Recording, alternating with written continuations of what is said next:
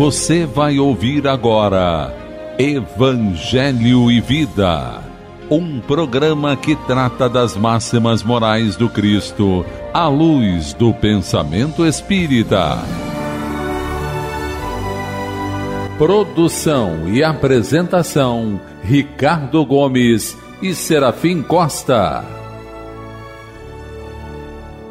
Amiga e amigo ouvinte, amigo Serafim, é com muita alegria que estamos iniciando mais uma edição do programa Evangelho e Vida nas ondas fraternas da nossa Rádio Rio de Janeiro, a emissora da Fraternidade. Neste período de isolamento social, desejamos a todos muita saúde, paz, serenidade e esperança, agradecendo sua preciosa audiência. Olá, queridas e queridos ouvintes.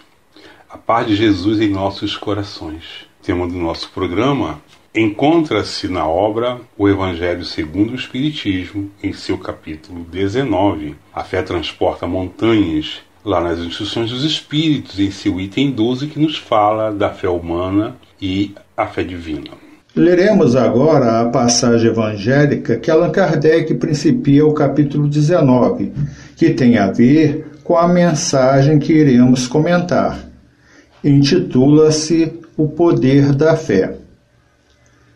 Quando ele veio ao encontro do povo, um homem se lhe aproximou e, lançando-se de joelhos a seus pés, disse: Senhor, tem piedade do meu filho, que é lunático e sofre muito, pois cai muitas vezes no fogo e muitas vezes na água.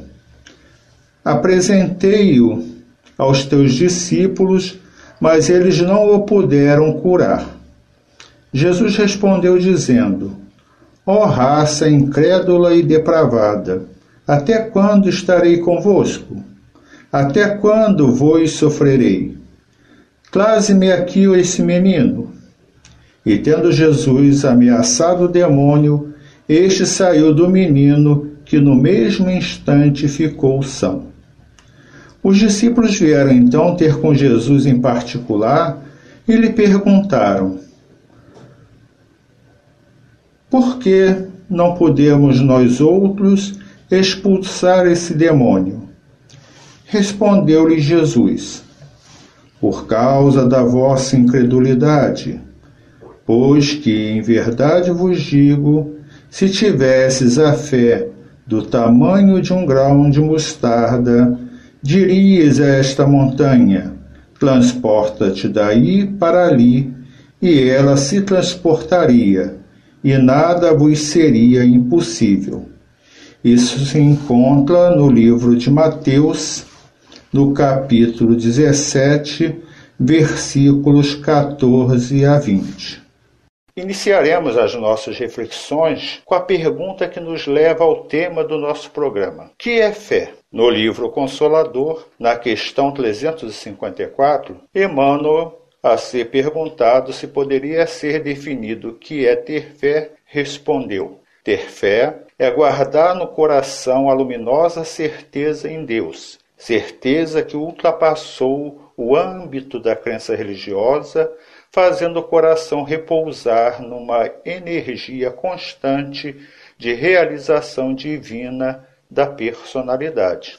Então, amigo ouvinte, podemos dizer que ter fé implica uma atitude contrária à dúvida e está intimamente ligada à confiança. Em algumas situações, como problemas emocionais ou físicos, ter fé significa ter esperança de que algo vai mudar de forma positiva para melhor.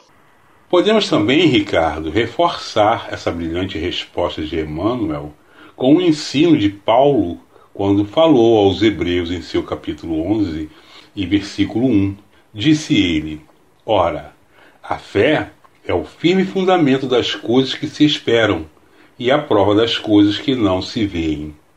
No contexto religioso, a fé é uma virtude daqueles que aceitam como verdade absoluta os princípios difundidos por sua religião. Ter fé em Deus é acreditar na sua existência e na sua onisciência, a fé é também sinônimo de religião ou culto. Por exemplo, quando falamos de fé cristã ou da fé islâmica. O termo fé surge em algumas expressões populares e também no contexto legislativo. Vejamos alguns exemplos. Fazer fé, que significa acreditar em alguém ou em algum ato. Ter esperança. Por exemplo, acreditar no cirurgião que vai nos operar, né? ou no motorista do ônibus que vai nos conduzir em segurança. Temos também um outro, dar fé, afirmar como verdade, ou boa fé, forma de agir honestamente sem quebrar um compromisso. Ainda, má fé, agir de forma intencional para prejudicar terceiros. Após essa singela introdução, vamos nos voltar para o texto que analisaremos mais detidamente, ou seja, o item 12, que nos fala da fé humana e a divina, assinada por um espírito protetor.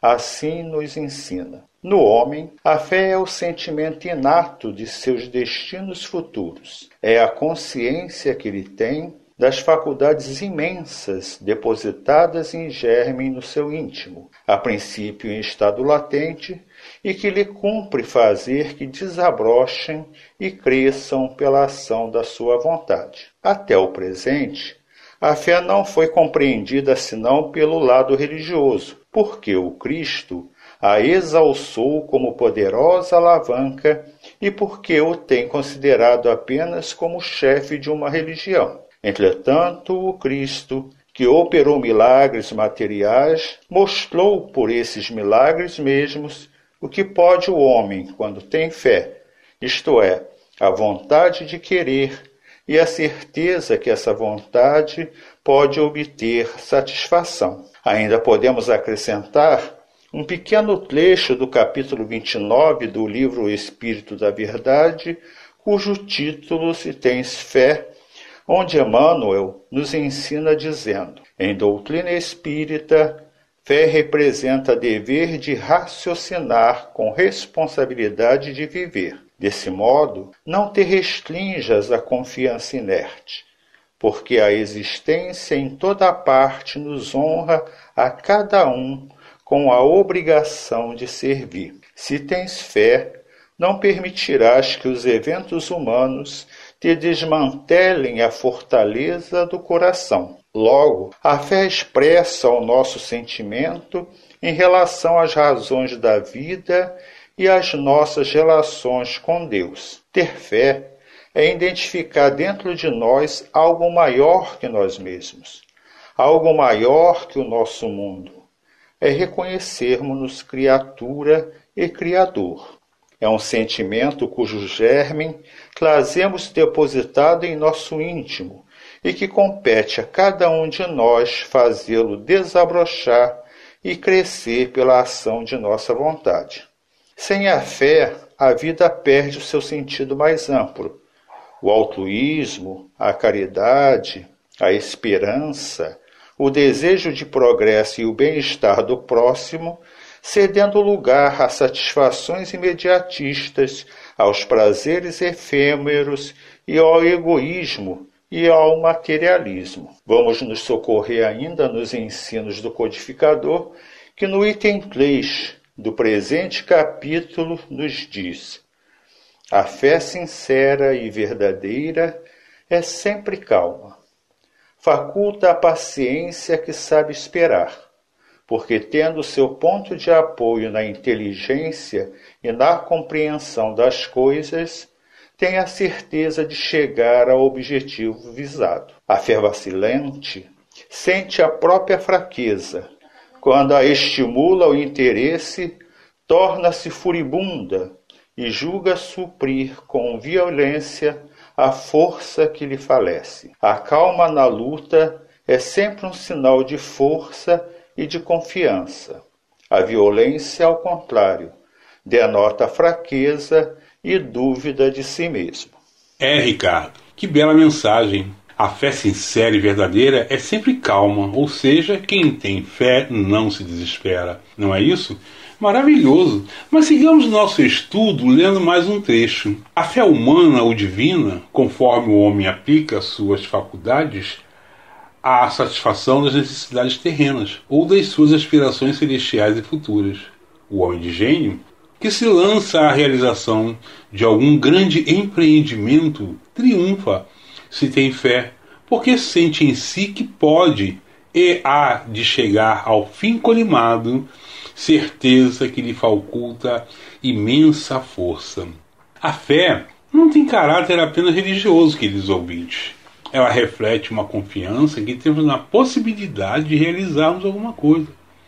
É um precioso instrumento evolutivo que nos cabe fazer bom uso a fim de cumprirmos nossa missão perante Deus. A fé humana se concentra nos interesses materiais e na satisfação das necessidades terrenas. E é nesse contexto podemos refletir que a fé como confiança pode ser exercida de duas maneiras. A primeira seria a fé em si mesmo, ou aquilo que denominamos autoconfiança. A fé e a confiança são duas virtudes que se igualam. Kardec, na presente obra, Evangelho segundo o Espiritismo, ensina que a confiança nas suas próprias forças torna o homem capaz de executar coisas materiais que não consegue fazer quem duvida de si mesmo. A confiança brota da fé. A fé, por sua vez, é um sentimento instintivo que nasce com o espírito, nas estruturas do espírito. Deus coloca todas as virtudes que se deverão desenvolver com a sua evolução, com o crescimento pessoal. A segunda é ou seria confiança ou a fé no outro. Antigamente, os mais idosos diziam que a palavra de um homem valia mais do que qualquer coisa. Logo, bastava. A falta de confiança uns nos outros é que torna a humanidade feliz. Se observarmos a conduta das pessoas, verificaremos que a vida entre elas se complica quando cresce a desconfiança. Nisto reside a origem desta enxurrada de cópias autenticadas, reconhecimento de firma, selos de procedência, etiquetas de holografia, artifícios que encarecem os documentos e produtos criados pelo homem para driblar a desconfiança e a má-fé. Não se confia na lisura do procedimento do outro. Daí a necessidade de tantas provas. Quando os homens conseguirem conquistar a confiança em si nos outros, a vida na Terra se tornará bem mais singela e fácil de ser vivida.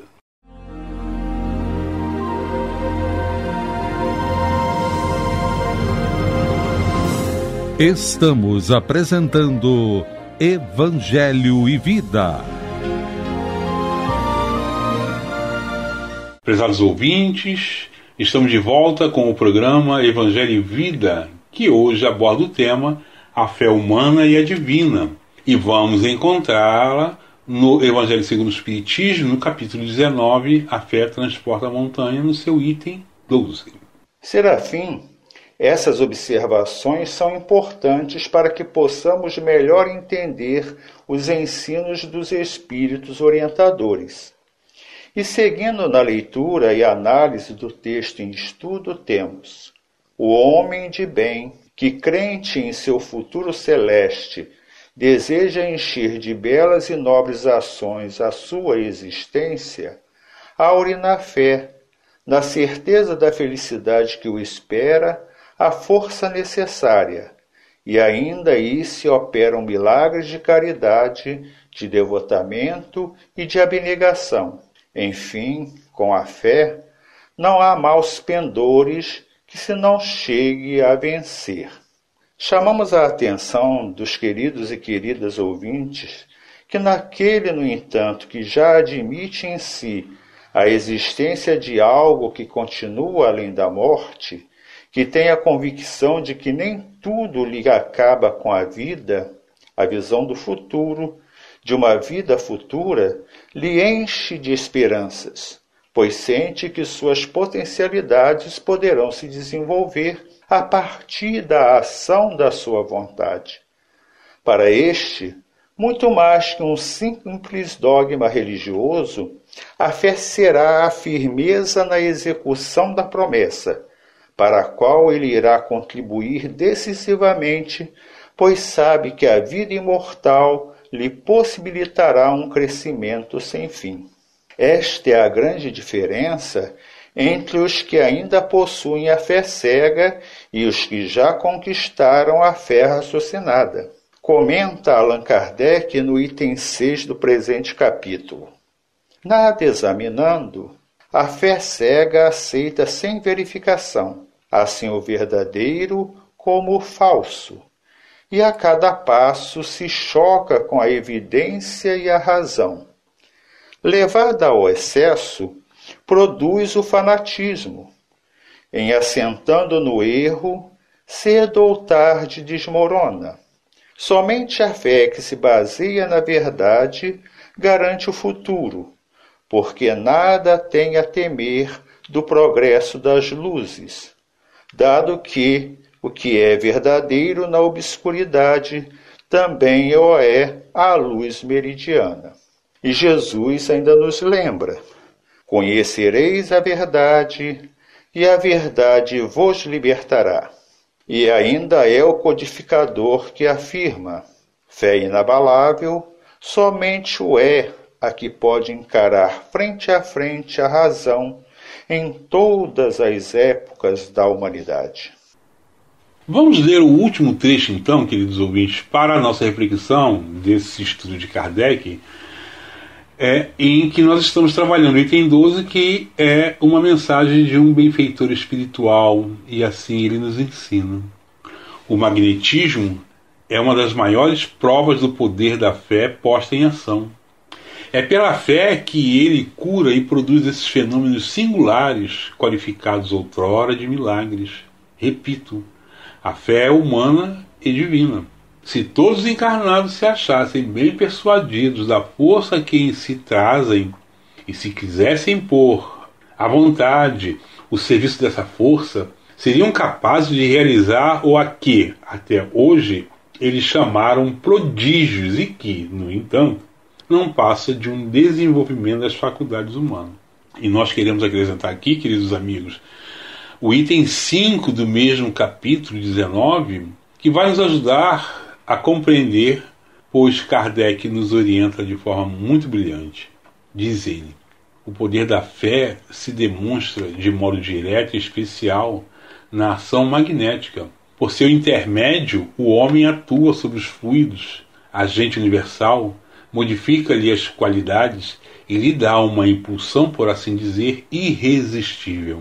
Daí decorre que aquele que há um grande poder fluídico normal junto à ardente fé, pode, só pela força da sua vontade dirigida para o bem, operar esses singulares fenômenos de cura e outros tidos antigamente por prodígios, mas que não passam de efeitos de uma lei natural. Tal motivo porque Jesus disse a seus apóstolos: Se não o curastes, foi porque não tinhas fé. A seguir, vamos ler uma página ditada pelo querido Emmanuel. E podemos encontrar esse texto no livro O Espírito da Verdade, no seu capítulo 29. Também iremos é, tecer alguns comentários na tentativa de melhorar nossa compreensão. Diz Emmanuel: em doutrina espírita, fé representa dever de raciocinar com responsabilidade de viver. Desse modo, não te restrinjas à confiança inerte, porque a existência em toda parte nos honra a cada um com a obrigação de servir. E continua Emmanuel: se tens fé, não permitirás que os eventos humanos te desmantelem a força do coração. Nossa, maravilhoso. Pois é, queridos ouvintes, a verdadeira fé é operosa, né? ou seja, o homem de fé age ante as dificuldades porque sabe que Deus assim o auxiliará. E Emmanuel, nesse texto, continua nos ensinando. Diz: transitarás no mundo sabendo que o divino equilíbrio permanece vigilante, e mesmo que os homens transformem o lar terrestre em campo de lodo e sangue, não ignoras que a infinita bondade converterá um e outro em solo adubado para que a vida floresça e prossiga em triunfo. Se tens fé, diz ele, não registrarás os golpes da incompreensão alheia, porquanto identificarás a ignorância por miséria extrema do espírito, e educarás generosamente a boca que injuria e a mão que apedreja. Ainda, diz Emmanuel, ainda que os mais amados te releguem à solidão, avançarás para frente, entendendo e ajudando na certeza de que o trabalho te envolverá o sentimento em nova luz de esperança e consolação. Amigos, o Espírito nos fala em esperança e consolação. E esse momento em que estamos vivendo, essas palavras têm uma importância muito significativa para todos nós, vocês concordam? E o Emmanuel vai ainda continuar nos orientando. Se tens fé, não te limitarás a dizê-la simplesmente, qual, se a oração sem as boas obras te otorgasse direitos e privilégios inadmissíveis na justiça de Deus, mas sim caminharás realizando a vontade do Criador, que é sempre o bem para todas as criaturas. Irmãos, precisamos aceitar incondicionalmente os desígnios do Altíssimo. Emmanuel continua nos orientando. Se tens fé, sustentarás, sobretudo, o esforço diário do próprio burilamento, através das pequeninas e difíceis vitórias sobre a natureza inferior, como sendo o mais alto serviço que podes prestar aos outros, de vez que, aperfeiçoando a nós mesmos, estaremos habilitando a consciência para refletir, com segurança, o amor e a sabedoria da lei. Vencer as nossas más tendências, queridos amigos, todos os dias, todas as horas, minutos e segundos. Assim, venceremos a nós mesmos. Continuemos nos deleitando, queridos ouvintes, com os ensinamentos desses nobres orientadores da espiritualidade. Vamos apresentar a seguir belíssimo poema do querido espírito Casimiro Cunha e que se encontra na obra Parnaso de Além-Túmulo, cujo título é Supremacia da Caridade.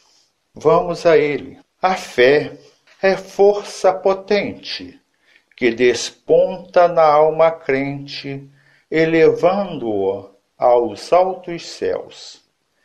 Ela é chama abrasadora, reluzente redentora, que nos eleva até Deus. A esperança é flor virente, alva estrela resplendente que ilumina os corações, que conduz as criaturas às almejadas venturas entre célicos clarões. A caridade é o amor, é o sol que nosso Senhor fez raiar claro e fecundo, alegrando nesta vida a existência dolorida dos que sofrem neste mundo. A fé é um clarão divino, refulgente peregrino, que irrompe trazendo a luz. A caridade é a expressão da personificação do Mestre amado Jesus. A esperança é qual lume ou capitoso perfume que nos alenta na dor. A caridade é uma aurora que resplende a toda hora, na empana o seu fulgor. Seja, pois, abençoada essa fúlgida alvorada a raiar eternamente. Caridade salvadora, pura bênção redentora do Senhor onipotente. Com essa bela mensagem, encerramos o programa de hoje e desejamos a você que nos ouve muita paz e muita harmonia. Lembramos, queridos amigos, que os programas são reprisados aos domingos às 20 horas Acompanhe a nossa programação, a programação da Rádio Rio de Janeiro, a emissora da Fraternidade. Fique com Deus e até o próximo programa. E, se possível, fique em casa. Até breve. A Rádio Rio de Janeiro apresentou o programa Evangelho e Vida.